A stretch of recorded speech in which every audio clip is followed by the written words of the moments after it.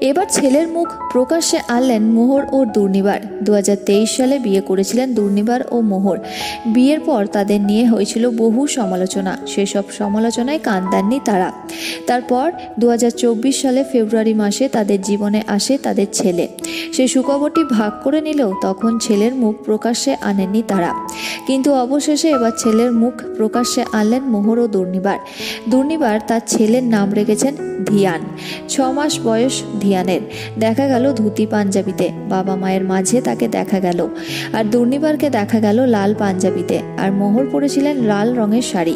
এছাড়াও ধিয়ানের একাধিক ছবি শেয়ার করেছেন তারা। ক্যাপশনে লিখেছেন, তুই শুধু ভালোটাই খুঁজিস, অন্ধকার তো সবাই চেনে। মিথ্যে তো বড়ই সহজ, তুই শুধু সত্যিটাই বলিস। তুই শুধু তুই হয়ে বেড়ে ওঠ আমাদের ধিয়ান।